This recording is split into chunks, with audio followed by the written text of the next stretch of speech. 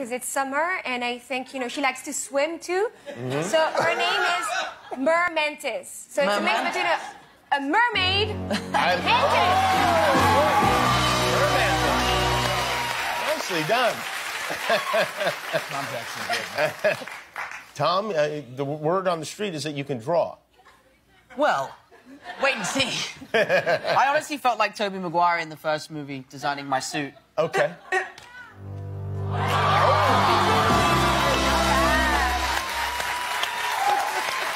Pretty great.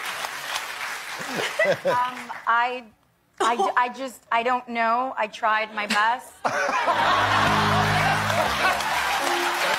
Very, I it's a it's a very Muppet-esque. It's so accurate. It's so funny. And finally, Iron Man.